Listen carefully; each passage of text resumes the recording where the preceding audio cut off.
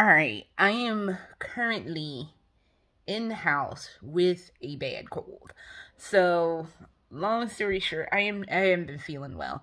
But yesterday, and you can hear this vocal fry in my voice. Basically, I have something going on right here where my gland is swollen. We went and got tested yesterday. We both came up negative negative for COVID and the flu and one other thing they tested us for, but I don't even know because me and my husband were both feeling kind of gross, but we don't have COVID or the flu, so I don't know what the fuck is going on, but it's not good. But that's not what any of this is about.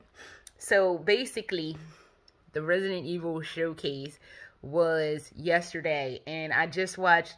I think was probably going to be the final trailer going into Resident Evil 8 out the gate.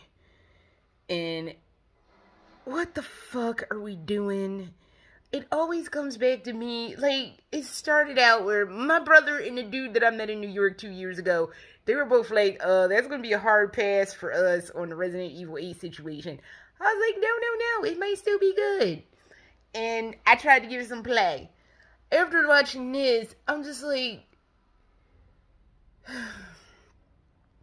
I don't know, man. So two things that sorry, I sound so weird. Two things that struck out to me was this dude, I think it's the dude with the goggles, and I straight be wanting to call that man Joel. Um, because he kind of looks like Joel from The Last of Us before they fucked over his character.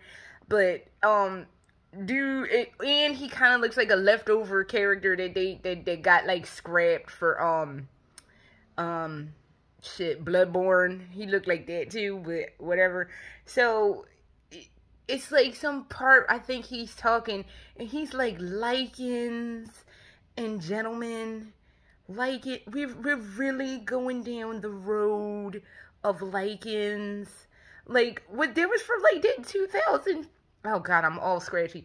I think it was called Underworld. I could not remember the name of it, but it's a movie where the girl was shooting on the floor and like she falls through the floor, but they were hunting vampires and then like some werewolves got into it and then like she was half she was a vampire but she had sex with a werewolf with a werewolf they had a kid and the kid was a lycan or lycans came into it for some kind of way i couldn't get past it because it was their 2002 level of entertainment when she shot out the floor and everybody was like, ooh, ah, this is some really popping entertainment. But it was 2002 and we didn't know any better at that point in time.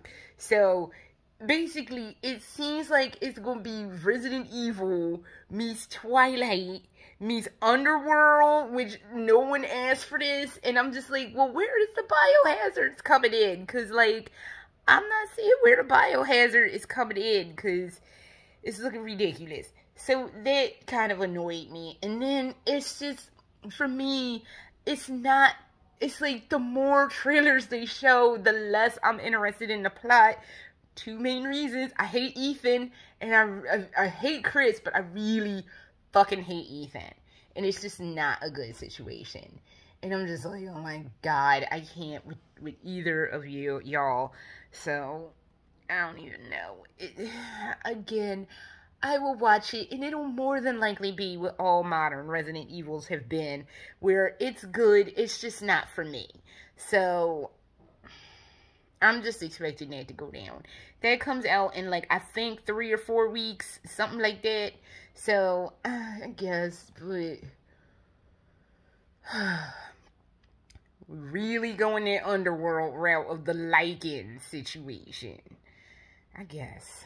So, since I am all scratchy and sound terrible and feel bad still, I've been in bed since Wednesday. I'm going to get the fuck out of here because I probably really shouldn't even be talking. So, I don't know. Until next time, later.